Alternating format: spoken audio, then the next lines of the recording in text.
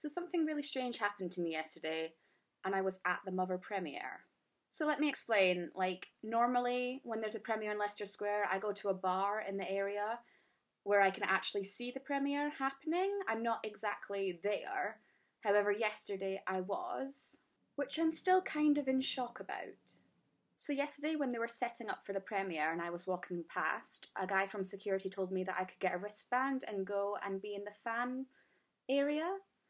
And I was like, I'm not too sure what that even means. So I went over to this guy, he gave me a wristband, and then I was put into the fan area of the carpet. And it was insane.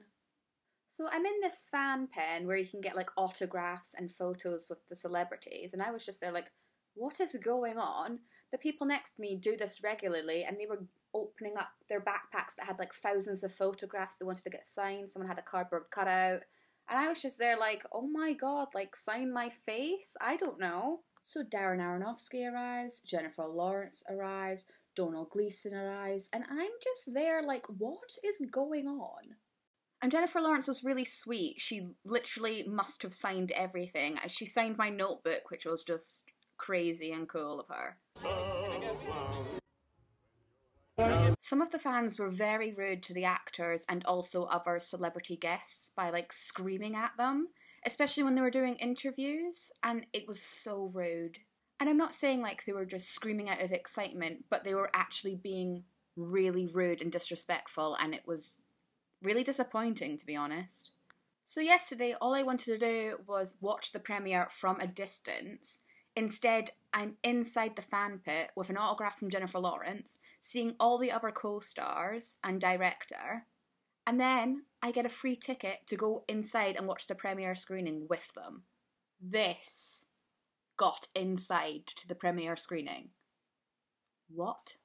To be fair, it had gotten pretty dark, so so then I go inside and I'm like the fourth row from the front, and Darren Aronofsky comes out and like presents the movie, and the cast comes out and the producer comes out, and you're just there like, how did I get into this situation? So then I'm at the premiere screening and I'm watching Mother, and I can also tell you that it is definitely classed as a psychological horror.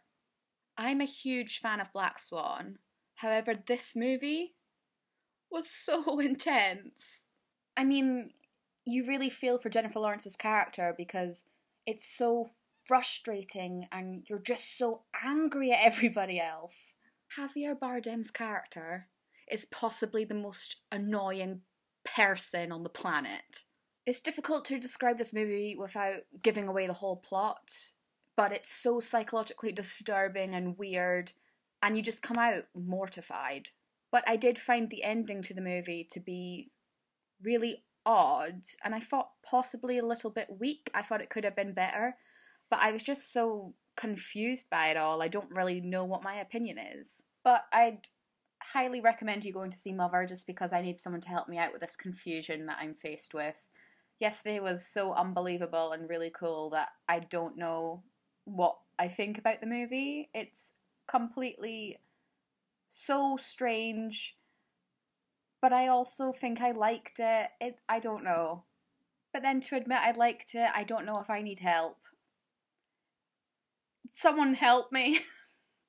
and I know I look terribly scruffy today, but I'm still kind of hyped on all the adrenaline from yesterday that I don't really know what to do with myself. And sorry that you have my bed in the background. If you want to see some images of me on the black carpet, go on my Instagram. There's a link in the little description box below. I can't explain to you how weird my day was.